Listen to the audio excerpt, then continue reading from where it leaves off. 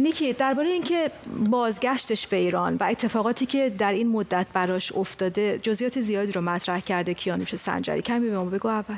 ببین خب خودش اینطور که میگه 2 اکتبر 2016 برمیگرده به ایران. واژه‌ای که به کار می‌بره میگه جنون وطن داشتم. برمیگرده ایران بازداشت میشه حبس میشه انفرادی میندازنش بارها شکنجه میشه تهدید میشه.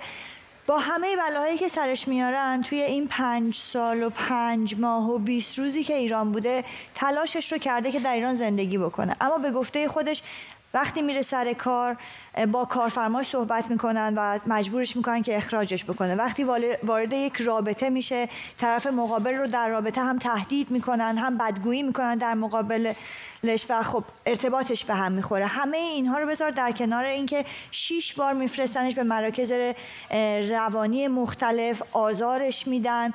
خودش از بلاهایی که سرش اومده بارها گفته از اون طرف توی این مرخصی استعلاجی دو ساله ای که داشته از زندان اومده بوده بیرون باید هر هفته در دفتر فردی که میگه اسمش امین وزیری بوده و سرپرست دایره نظارت بر محکومان امنیتی بوده حاضر می‌شده در اوین.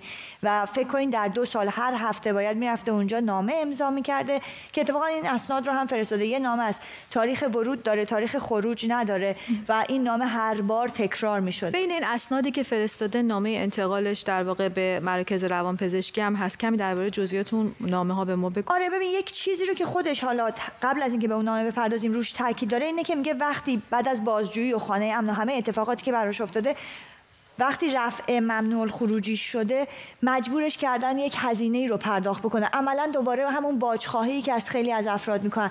یک پولی رو داده و بعد از اون از ایران اومده بیرون. یه تصویری هم از خودش منتشر کرده که خب در حال میگه اونجا وطنش بوده و نذاشتن بمونه. اما در مورد نکته که گفتی ببین کیانوش بارها و بارها در مورد اینکه چطور منتقلش می‌کردن به مراکز روانی حالا میگه چه بیمارستان چه مراکز خصوصی.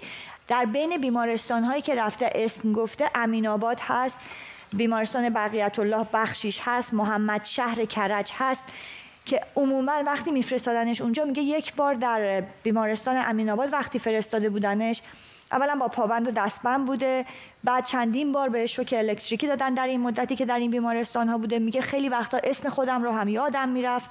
داروهایی بهش می‌دادن که می‌گفت حتی نمی‌تونستم حرف بزنم و به اون پرستار یا به اون پزشک عنوان کنم که من مشکلی ندارم.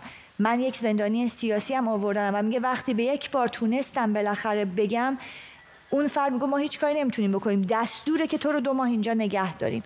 یعنی یک پروسه ای رو گذرونده از سر که خب چندین بیمارستان مختلف با اتهامات که اصلا مشخص نیست چرا یک آدمی رو که می‌دونیم که این اقدامات با چه هدفی انجام میشه.